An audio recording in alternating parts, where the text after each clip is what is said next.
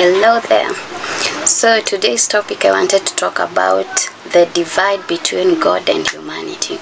And this topic came about because lately, okay, it seems like everything is a lately, but you know, maybe it's too late to have these conversations, but we still need to have them. The divide between God and humanity. So this was what I was thinking. Why is it that, you know, faith has become a reason for us to get divided instead of us coming together? When I think about faith, when I think about God, I think, you know, we all know that God is love, right? And if love is God and God is love, aren't we supposed to like spread out love no matter the division? Because it feels like all of us, it's like we have this we are using division as an excuse or faith as an excuse. We are looking for like it's like we are going out of our ways to separate ourselves from a certain type of people.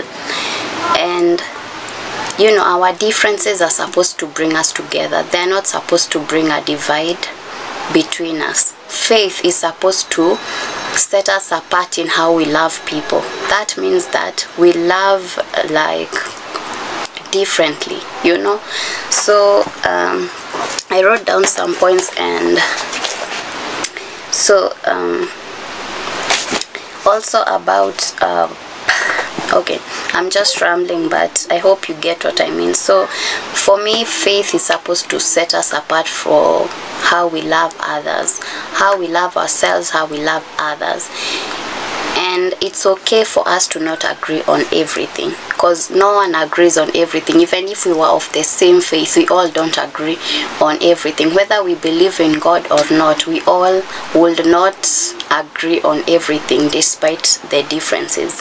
So let's make it a point to not allow faith to be the reason or to be the excuse of why we're casting away people being hateful. No one will ever listen to anyone who has like a weapon against someone's head. And i feel like using differences as an excuse to cast away people is like putting a weapon on someone's head and telling them that you're supposed to believe in this or not which no one would accept even if they said yes out of the threat out of the feeling of being threatened. It wouldn't really resonate with them in their soul.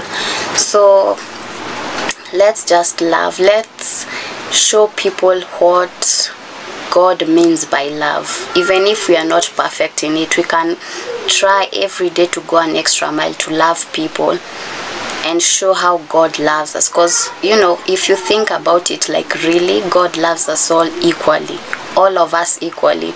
You know, have you ever sat and thought about someone like um, doing something wrong to you and it's like okay okay so as i was saying has someone ever done like something wrong to you and it's like then you sit down and think and you're so pissed off at this person. Then you sit and think about how god looks at them how god perceives them and it's it's like mind blowing how that in that situation you might not be happy about thinking that thought because automatically it goes to god loves that person. This equally as equally as he loves you and at times depending on a circumstance it can feel unfair but the truth of the matter is that God loves us all the same. Whether no matter what you did, no matter what you're doing, no matter what you will do, God loves us all equally. So this division is more like a judgment. It's like we've become the judges beyond God. Like everyone has been given a choice by God to choose what they want to choose.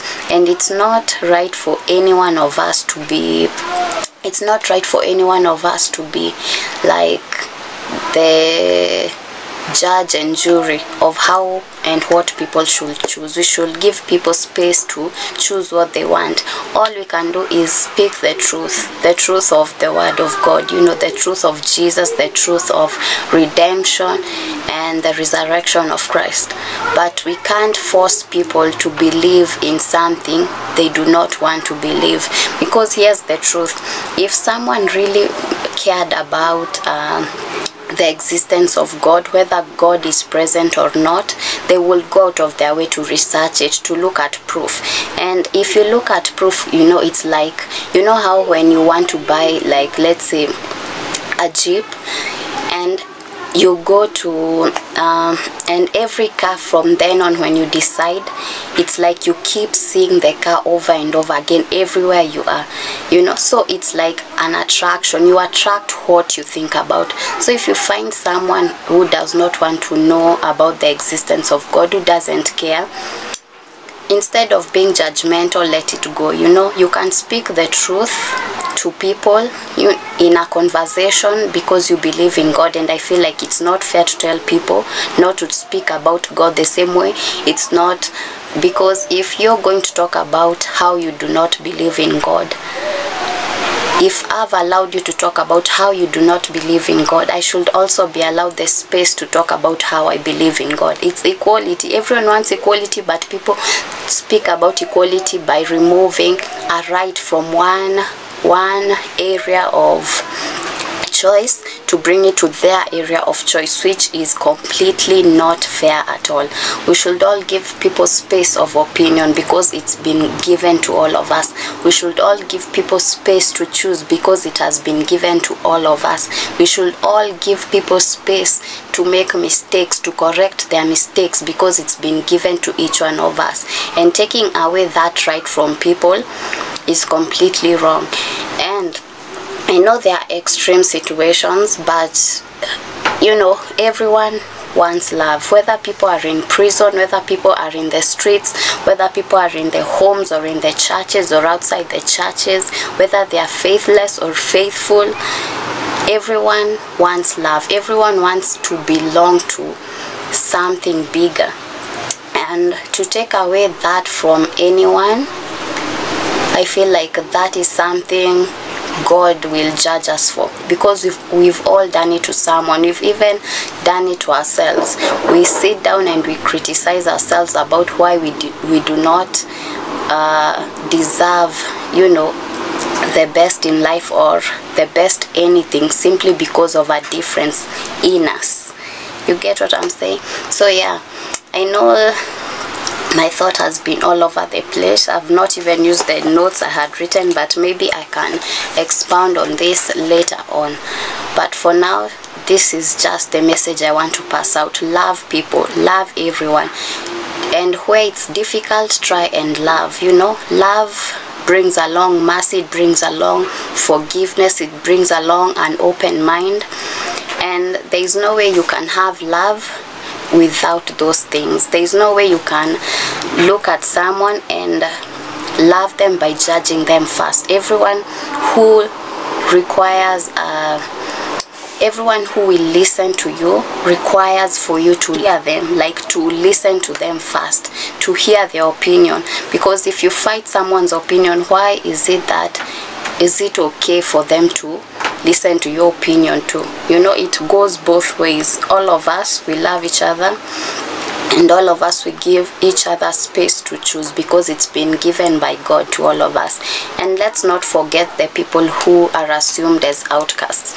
Let's find a way to involve people. You know the forgotten people people on the streets the orphans people in the prisons people in the hospitals especially people in the prisons. No one remembers those people you know? And think about this. There are people who are in there who, who did not even do what they were jailed up for.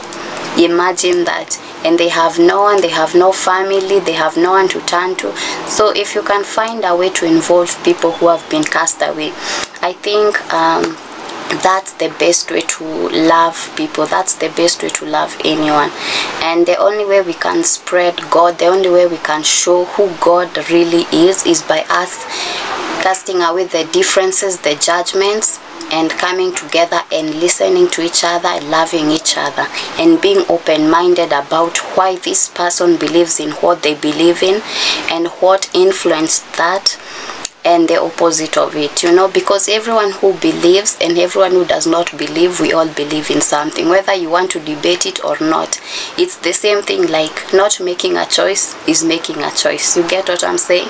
So yeah god is love love is god. So the best way to give love is to have god. The best way to have god is to give love. If you're not giving love you have no god. And if you have no god you cannot give love because how can you give something from someone you have already rejected? If you reject god it's like you've rejected love. It's like one thing. You get what i'm actually it's one thing. God and love is one thing.